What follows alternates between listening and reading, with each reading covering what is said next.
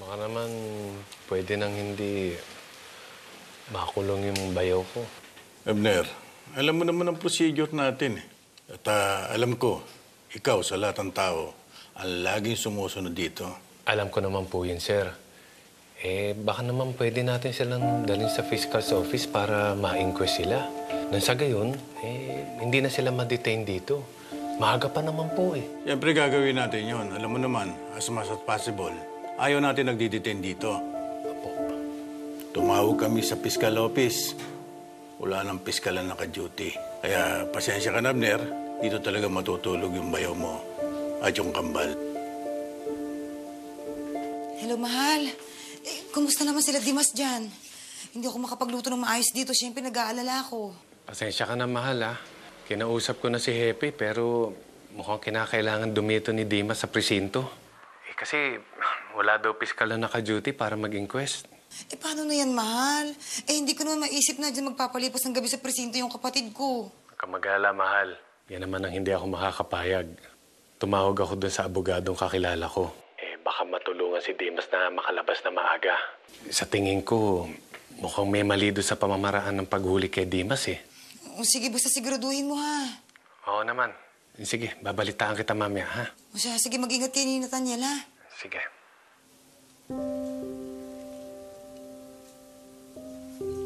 David, Solomon, patawagin niyo ba nanay niyo?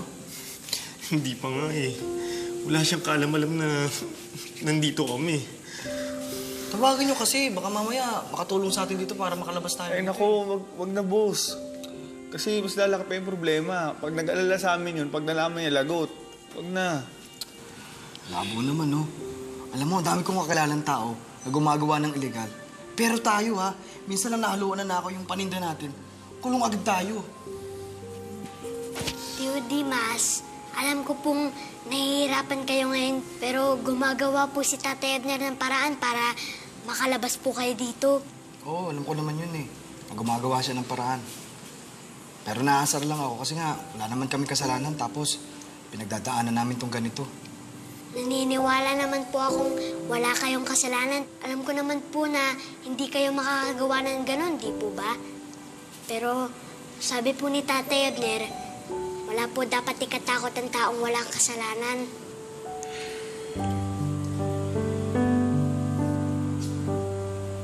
Ma, nakusap ko na si Aaron. Mukhang hindi madadama yung AVL Business Club dun sa kaso ng bayaw ni Bartolome.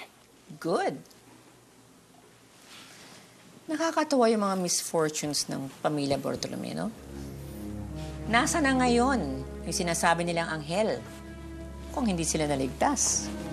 Kung totoong may anghel, di ba dapat tinulungan na sila? Nay, eh, wag na po kayong mag-alala. Eh, di ba po sabi naman po ni tatay, aayusin niyo po yung problema. Oo nga po, Nay. Ang mabuti pa po, pagdasal na lang natin na makauwi na po sila. Sige na, tama, anak, tara. Ano, magawa ng paraan. Bayaw! O bayaw? Ah, si attorney. Gusto kong malaman ninyo na makakalaya na kayo ngayon din. Uy, uy, talaga po, talaga po. Salamat po. Salamat po. Bayaw, maraming salamat ha. Wala yon. Nagpatulong lang naman ako dito kay attorney. Kasi nga, nalaman namin na parang may mali doon sa proseso ng pagkakahuli sa inyo. Eh wala kasing warrant na binigay eh. Aba, hindi pa pwede yun. Naikwento nga sa akin ni Mr. Bartolome yung buong pangyayari. Ang gusto ko lang sabihin sa inyo, sa lalong madaling panahon, kailangan ninyong mahanap yung supplier ng mga cellphones na nakaw. Kasi kung hindi ninyo mapapatunayan na yung supplier na yon ang may kasalanan ng lahat, may posibilidad na maibalik kayo dyan sa kulungan pag nagawa na yung warrant para sa inyo. Kapag nangyari yon, mas malaki ang magiging problema ninyo. Kakailanganin niyo ang magpiyansa pag nagkataon. Masuswerte kayo. Nahanapan ako ng butas nitong abogado nyo. Ah, sir, wala namang butas doon eh. Kasama naman talaga sa tamang proseso yung warrant, di ba? At anong ibig mong palabasin, Abner? Na hindi ko alam yon? Malamang alam ko yon. Dahil aayusin ko naman talaga yung warrant pagkahuli ko dyan sa bayaw mo. Pero, huwag kayong mag-alala. Hindi pa naman ito yung huli nating pagkikita. Magre-reunion kagad tayo dito. Ha? Sir, sisiguraduhin ko sa inyo na hindi na mangyayari yan. Dahil papatunayan ko na yung supplier nila may kasalanan ng lahat ng to. Tingnan natin. Oh. Sige, lumabas muna kayo. Tayo. Mahal, Mahal. Nay,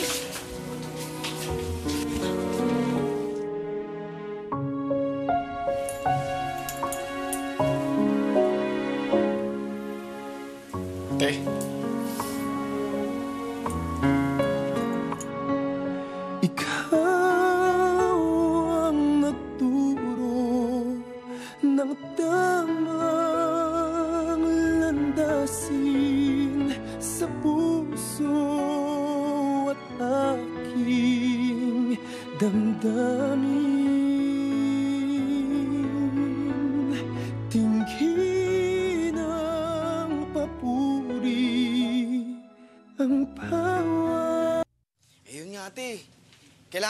Maayos namin to eh.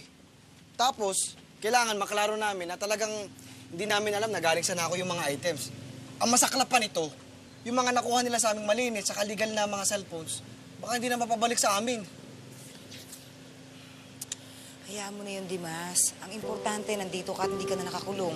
Saka isa pang importante, kailangan mahanap natin yung supplier nyo. Siya magiging daan para maklaro yung pangalan mo. Pero bayo, baka naman pwede natin daanin to sa pakiusapan. Baka naman may mamalalapitan kang otoridad. Hindi magandang ideya yan, Bayaw. Kailangan lumabang ka sa tamang proseso. Kung mananalo ka, sa tamang paraan. Sa'yo na rin mismo nang galing na hindi ka kriminal, di ba? Kung gagawin natin yung gusto mo, di parang ganun ka na rin. Teka lang, pa pa- paano yun? Pag hindi pa natatapos tong kasong to, wala akong negosyo. Tapos wala rin akong kita. Dimas, huwag mo nang isipin yun. Pagtutulungan naman natin to eh. Ang labo naman talaga, oh. Ito na yata talaga ako eh. Lagi na lang akong palpak.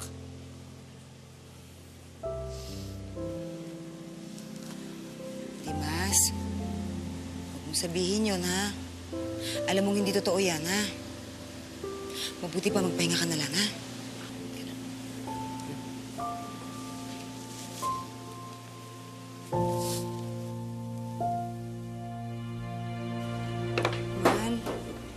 Ba may posibilidad na makulong yung kapatid ko?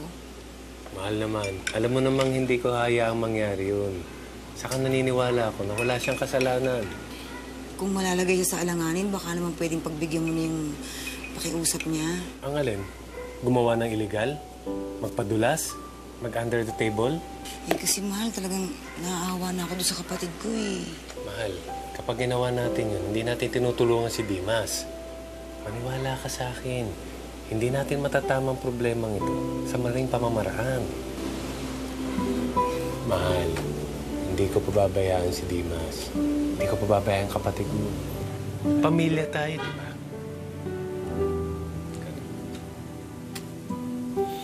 Panginoon, kailangan ko pong matulungan si Tate Abner na matulungan si Tio Dimas. Naniniwala po akong wala siyang kasalanan at hindi po siya dapat makulong at maparsahan. David, Solomon, alam ko mabigat sa inyo yung nangyari, pero naniniwala pa rin ako na may babalik niya yung negosyong yan. Sana nga magdilang anghel ka, mga Abner. Kasi kailangan talaga namin tong negosyong to eh. Napusta na namin lahat dito. Ito na lang meron kami. Sana maayos na to. Kasi pag di naayos to, di maayos ang kaso. Sigurado kulong kami. Kaya nga ako andito para tulungan kayo eh. Yung bang pinapahanap ko sa inyo, nakita nyo na. Ay, opo. Ito po. Ito po yung calling card nung murang supplier na pinaghihinalaan namin pasok ng mga nakaw na items dito. Jeremiah Rago? Oho, yan po yung pangalan na sinasabi niya sa amin. Pero hindi ho namin masyadong kilala yung taong yan. Gaya nga po ng ano, sinabi ni Boss Dimas, kinagat lang naman namin yung supply niyan dahil mura lang yung pasa niya. Sige, pupuntahan ko tong address na to. Tapos kung sino man yung kakilala ng taong ito, pagtanong-tanungan nyo, ha? Okay po. Teka, si Dimas nga pala, Hasan. Ay, si Boss Dimas po, ah, humingi daw po ng tulong para sa problemang to. Kanino naman siya hihingi ng tulong? Kay AVL daw po. Paul. Is that... Yes, ma. Yan yung Dimas. Akala ko ba hindi niya tayo itadamay? Anong ginagawa niya dito? Ma, huwag ka na mag-alala. Ako na bahala dyan. You better make sure.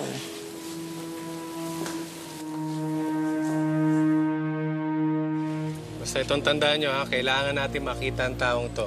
Para mapatunayan na siya may kasalanan na lahat, ha? Okay po. Dimas! Sir Paul! Ah, Sir Paul, um, alam ko po kasing wala po akong karapatang humingi po sa inyo ng tulong. Pero hindi ko po alam kung nabalitaan nyo na po. Ang alin? Na-raid po kasi yung shop po namin eh. Bakit? Anong charges laban sa inyo? Eh, Sir Paul, kasi ganito po yun eh. Eh, meron pong mga naka-units po na nakasama po sa units po namin. Tapos ang kailangan po namin, mahanap po yung, yung pong supplier po nito. Kasi siya lang po yung susi dito eh. Sige, Dimas. Sabihin mo lang sa akin kung paano ko kayo matutulungan. Ah, bali po, Sir Paul. eh, Ito po yung pangalan po ng supplier na hinahanap po namin ni Bayaw. Eh, baka po, Sir Paul, matutulungan niyo po kaming hanapin po yan. Sir Paul, pasensya na po talaga, ha? Dimas, huwag kang mag-alala. Member ka ng AVL Business Club, hindi ba? Dito nagtutulungan tayo. We help each other. Ito, ibibigay ko to sa security namin para mapadirin ang paghahanap nyo. Ayos? Talaga, Sir Paul. Salamat po. Oo naman. Pero Dimas, sana lang makarating to Kabner. Dahil sa kabila na lahat ng bintang niya sa amin, nagawa pa rin ang may tulungan. Di ba? Opo, Sir Paul. Hindi po namin ito makakalimutan. Salamat po, Sir Paul. Sige po, Sir Paul. Alas po ako.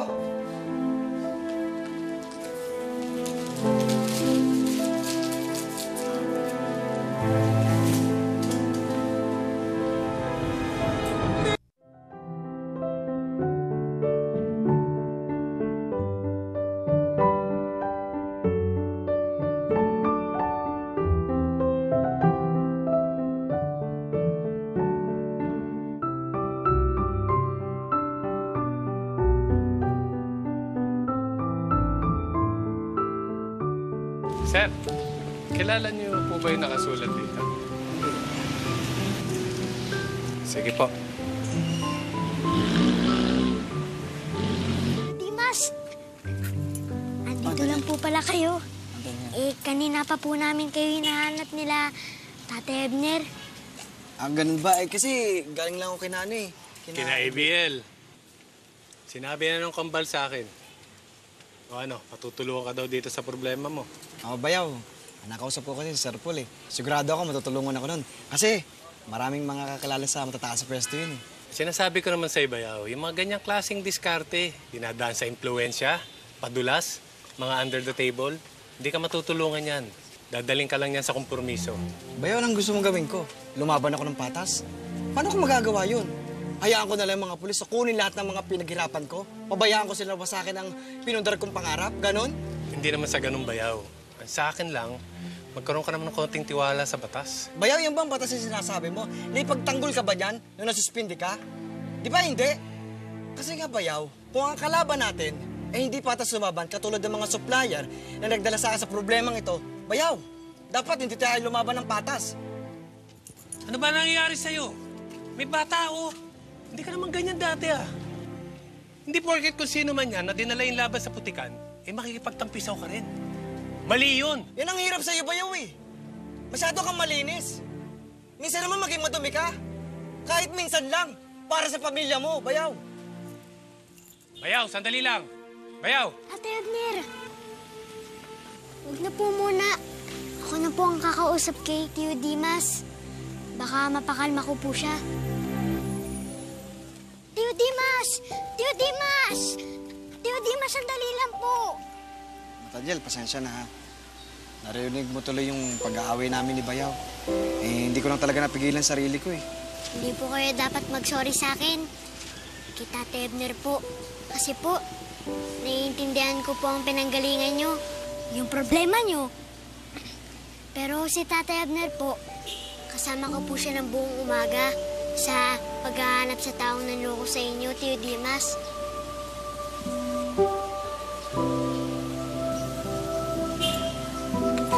Alam ko naman yun eh. Kaso lang, ako na naiipit eh. Wala naman akong kasalanan, tapos ako pa yung lumalabas sa mali. Kung meron man pong sobrang nakakaintindi sa sitwasyon nyo, si Tatay Edner po yun. Kagaya po ng sinabi niya sa inyo, hindi po kayo dapat sumuko sa tama. Kasi po, pag sumuko po kayo sa tama, parang pinanalo niyo na rin po yung mali.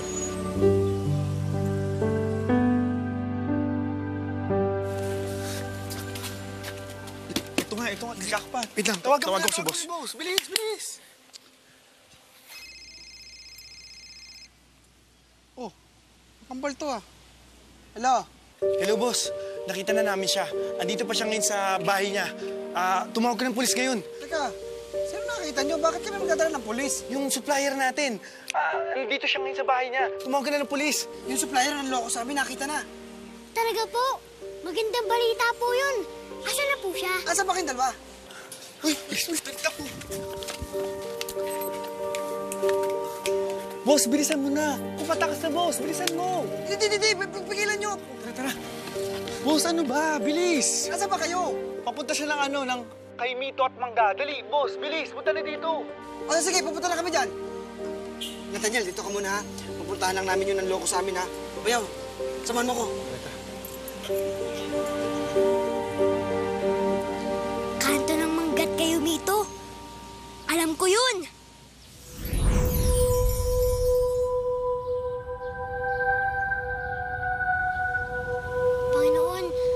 Tulungan niyo po ako. Ituro niyo po sa akin kung saan ko makikita ang hinahanap ko. Tulungan niyo po akong mahuli ang lalakan ng loko kay Tio Dimas. Ayan, putang-tang ka! Gusto mo dyan? Gusto mo? Jeremiah, siya yun. Salamat po, Panginoon, ha.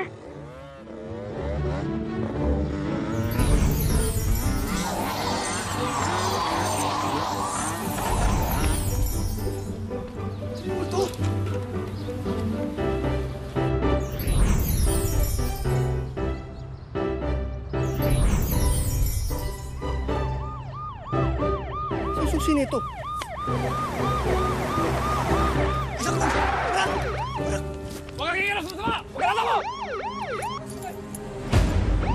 po si Jeremiah!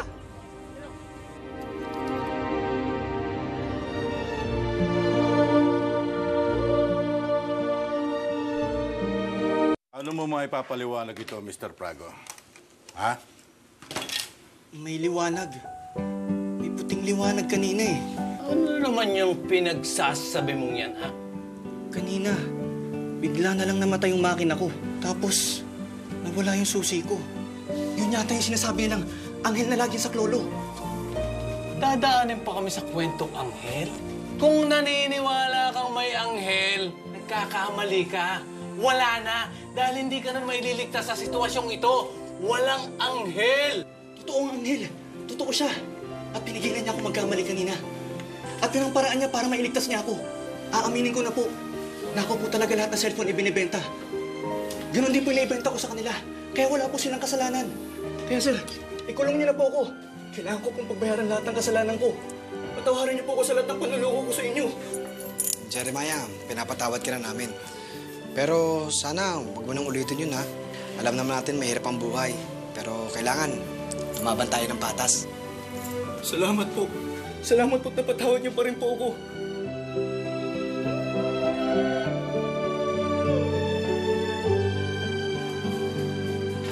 Bayaw, Sabayaw.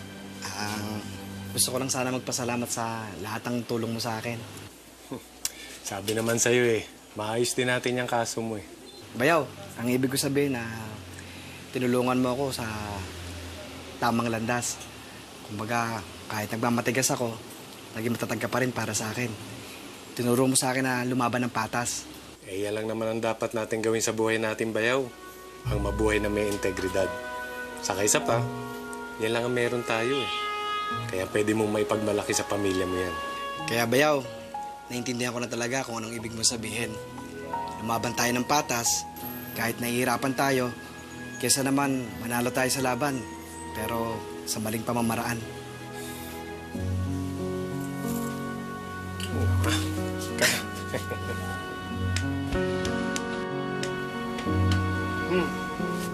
Nakita ko ang tunay na Panginoon, salamat po. At tinulungan niyo po si Tio Dima sa kanyang problema.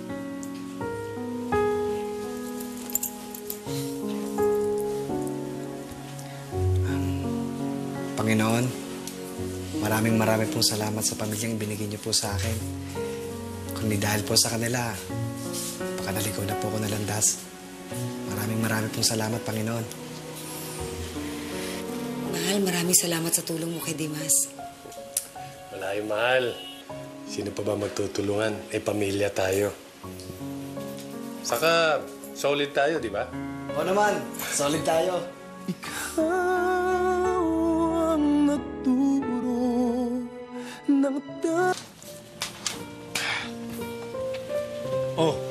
Dimas. Ayos ka lang? Ba't parang may iyak ka? Hindi, ah... alam mo, masaya lang talaga ako dahil nga bukas ulit ang shop natin. Eh, akala ko nga, katapusan na natin yun eh. Alam mo, boss, naiintindihan kita eh. Kaya ngayon, sa nangyari, dapat mas maingat na tayo dyan sa mga manlulokong yan. Dahil alam mo naman, nagkalat sila sa panahon ngayon eh. Kaya, simula ngayon, lalaban na tayo ng pata sa buhay, okay?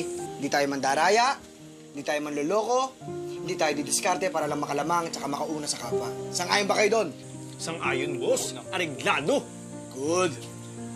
Ano, black business na? Oo naman. Yan ito. Yan, dumami na rin yung... Uy, sila ABL ako! Ibel! Sir Paul! Punta natin!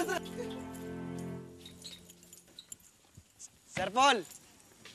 Gandang araw po. Buti po napadaan po kayo. Oo, napadaan kami, Dimas, tapos nakita ka namin. O, tapos ng problema nyo. Nabuksan nyo ulit yung shop nyo. Opo, absuelto na rin po kami. Tapos po yung supplier po namin na nanloko po sa amin. Nakasuhan po yun kasi nga po binibentahan po kami mga nakaw na items eh. That's good news. Who does? Ma'am, Dimas po. So mukhang hindi nyo na kailangan ng tulong namin. Tama ba ako, Dimas? Ah, Sir Paul, di na po. Pero maraming maraming salamat pa rin po sa inyo. Of course. We'll always be here to help you. Tulad ng sinabi ko sa iyo noon, di ba? Pag nasa AVL Business Club, lagi nagtutulungan. We're like family. Ay, family. Salamat po. Bye. Bye-bye po. Sige po. Dimas? Sir Paul, sige po. Ibel! Bye po. Ingat po. Lola, inumin niyo na po tong gamot na to. Ito po. Ito po. Ayun nga. Eh, dapat kaninang pabinigay sa akin. Ito ba't ngayon lang? Pasensya na po, wala pa po akong isang oras sa trabaho, Lola. Ngayon ko lang po nakita sa listahan na to yung gamot na yan. Tubig. Bakit ganito? Bakit hindi malamig ang tubig ko? Bawal po sa inyo malamig, Lola. Pwede ba? Ako ang amo, no? Ako susundin mo. Alam ko kung gusto kong malamig o hindi. Kaya sa susunod gagawin mo yon. Yung malamig ang gusto ko. Pero inaalagaan ko lang. Tumigil ka na nga! Huwag ka na sumagot-sigot dyan! Ah, Tito, tandaan mo ito, ha? Ikaw, naninilbihan ka lang sa akin dito. Sinesweldohan lang kita. At kung ano ang gusto ko, yun ang masusunod. Ang sama pala na ugali niyo matanda ka eh. Aba, bastos to ah. Sasagot-sagot ka dyan. Kayo ang bastos. Kung hindi kayo marunong rumispeto, hindi din dapat kayo nire-respeto. At lalong hindi kayo dapat inaalagaan. Diyan na nga kayo. Ba't talagang naku? Lumayas ka! Kaya kong magbayad kahit ilan! Bastos! Kamusta ka na, anak? Okay lang po, Tay. Naisip ko lang po kasi si Lola Gina. Naisip ko lang po kasi maswerte po tayo dahil meron po tayong pamilya na buo. Yung kahit nagtatalo po, nagkakabati kagad. Yung nagtutulungan, yung walang iwanan po. Kaso po, mag-isa na lang si Lola Gina sa buhay. Kasi po, naitulak niya po si Ate Sara papalayo. Alam mo, anak, yung mga edad ni Lola Gina, marami ng takot ang isang tao. Kaya hindi siya naintindihan ng mga taong nakapaligid sa kanya. Pero sa tingin ko, kung may explain ka sa kanya ng tama, magkakasundo silang maglola. Yun po yung gagawin ko, Tay. Hindi ko po susukuhan si Lola Gina. Hindi pa po tapos yung misyon ko sa kanya.